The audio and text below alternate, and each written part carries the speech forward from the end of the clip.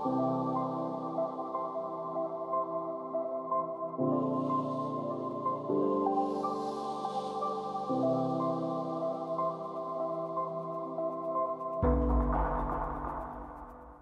thank you, everyone. Um, I'm Georgios. I do product for Sigma, and I'm going to talk to you about how bridges can improve L2 composability.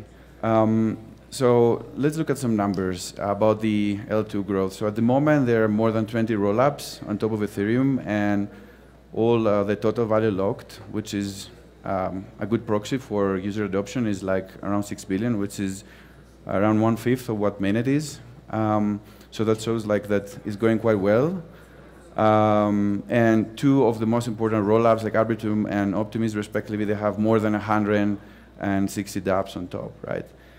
However, there are some side effects. So all these protocols and apps are silos across all these rollups. So, so the liquidity is fragmented, and the end user experience across using all these rollups is not so optimal. So it looks like there is a trade-off between low fees and high transaction throughput over composability. So what is composability? Uh, it's, yeah, in other words, it's the money Legos. Like it's what fueled Ethereum growth uh, all these years. And yeah, as we can simply see here is uh, on L1, uh, how a yield aggregator can use a DEX or how um, a lending protocol can use a Standix protocol. I can build on top, right? And as you can see here, L1 is, yeah, the risk composability on L1 and all these optimistic or ZK rollups, different ones, uh, there's also composability inside them, but not across them, right? So that's uh, the issue we just described. Um, yeah, so as an example, these are four of the uh, most popular uh, protocols, uh, and we see that they are developed, they are deployed on Ethereum and the rollups, and yeah, at least two of the rollups. Uh, but all these deployments are separate from each other, right? They cannot communicate with each other. They, they, there's no connection between them. Um, so you can see the, the L2 ecosystem is uh, uh, quite huge, quite thriving, with all these kind of apps like DEXs, yield aggregators, NFT marketplace, synthetics, but it's fragmented.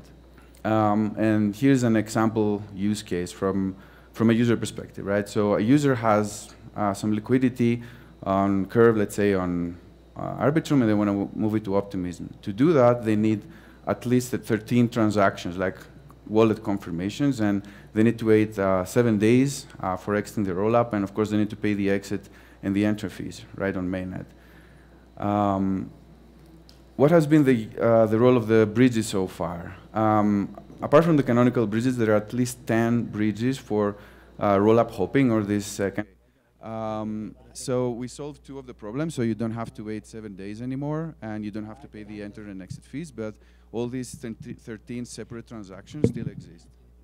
Uh, so what we propose is, you know, that the bridges should move uh, away from just this ERC20 token bridging and uh, focus more on message passing, right? So how do you pass messages from uh, an L2 to another L2 or to L1?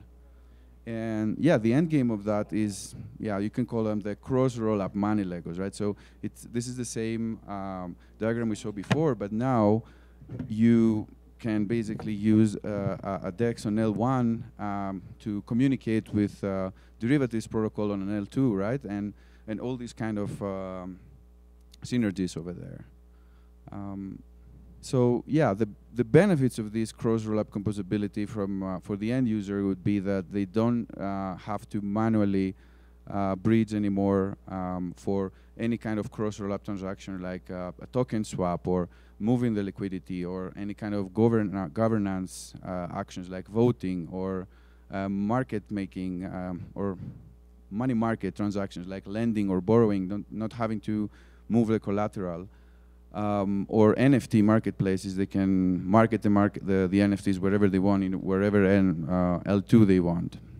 So how this could look like, um, so this is, uh, yeah, our proposal, like a, a cross roll-up composability layer, and you can see on top is one, uh, imagine like one roll-up on top and another roll-up uh, below, and in the middle is the relay, so it's basically off-chain uh, relay network. And the main uh, concept here is that you have uh, generic message passing smart contracts developed on both, deployed on both uh, rollups, and you have the so-called adapter contract, which will prepare and parse uh, the necessary messages, right? So this uh, this setup will uh, help um, any smart contracts from uh, from one from one rollup to communicate with another rollup or even with uh, layer one.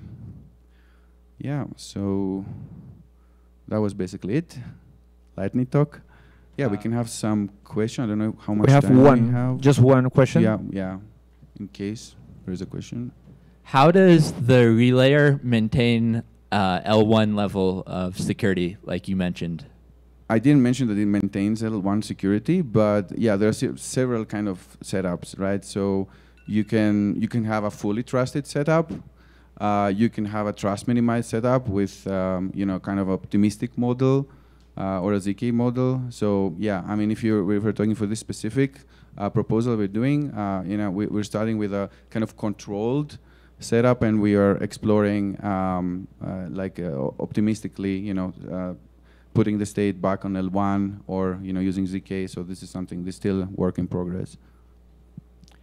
Thank you so much. Big round of applause for Yorgos and Sigma.